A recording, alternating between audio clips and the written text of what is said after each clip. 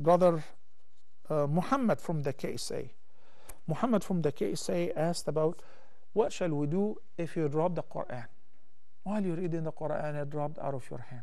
I understand from your question that it happened by mistake, right? In this case, you're not blameworthy. Why not? Because Allah the Almighty stated by the end of Surah Al-Baqarah, رَبَّنَا لَا تُؤَاخِذْنَا إِن نَسِينَا أَوْ أَخْطَأْنَا He taught us a beautiful dua to say, Our Lord, do not hold us accountable if we do anything which is wrong or a mistake or forbidden out of nisyan, out of forgetfulness, أو أخطأنا, or by mistake. And Allah the Almighty answered this supplication and granted us a waiver if we do anything out of forgetfulness, by accident, or by mistake, then we're not blameworthy.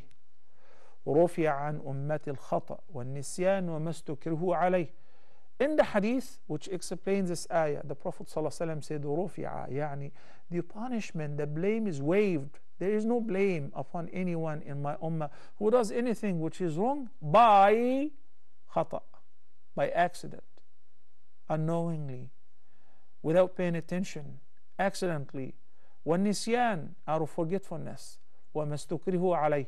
And a thing that you were forced to do it, like there is a life threat. You have no choice, you're forced to do it. You're not blameworthy. So you're reciting Quran, you love the Quran, you're holding the Quran, it dropped out of your hand. You're trying to carry your baby, you're trying to drink a cup of tea, and you fell, and it fell on the mushaf. Something happened, it fell out of your hand. You're not blameworthy. So what are you supposed to do? Pick up the Quran and what else after I picked up the Quran? Is there any specific rituals? Do I have to hold the Quran and kiss the Quran and put it on top of my head and kiss it three times as some people do. None of the above. If it dropped out of your hand, do I have to kiss the Quran? You don't have to kiss the Quran. You're not even blameworthy because you didn't do it on purpose. A person who throws the Quran on, on the floor is a disbeliever.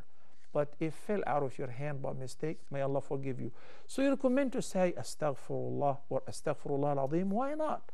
We say Astaghfirullah even if you didn't do a specific sin. So it would be encouraged to do that.